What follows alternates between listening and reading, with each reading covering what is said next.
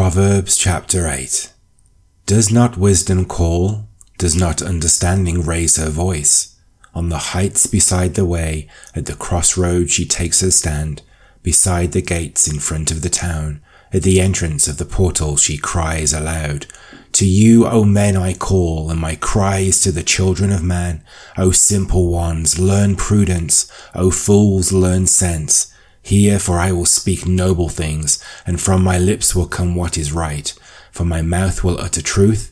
Wickedness is an abomination to my lips. All the words of my mouth are righteous. There is nothing twisted or crooked in them. They are all straight to him who understands, and right to those who find knowledge.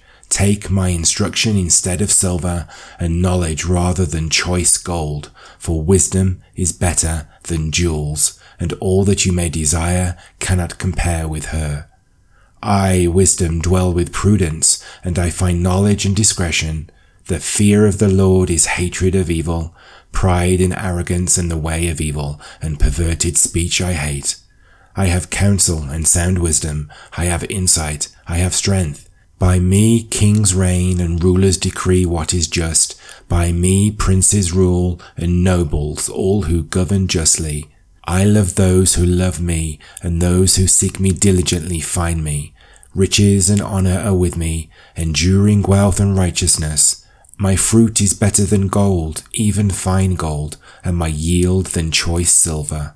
I walk in the way of righteousness, in the paths of justice, granting an inheritance to those who love me, and filling their treasures. The Lord possessed me the beginning of his work, the first of his acts of old. Ages ago I was set up, at the first, before the beginning of the earth. When there were no depths I was brought forth, when there were no springs abounding with water. Before the mountains had been shaped, before the hills I was brought forth, before he had made the earth with its fields, or the first of the dust of the world.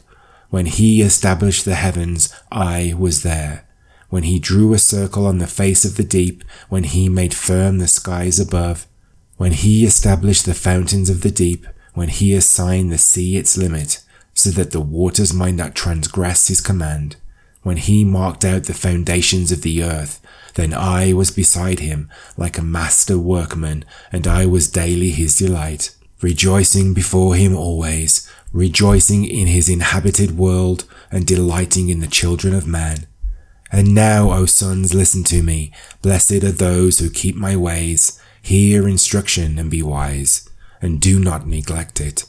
Blessed is the one who listens to me, watching daily at my gates, waiting beside my doors. For whoever finds me finds life and obtains favor from the Lord, but he who fails to find me injures himself.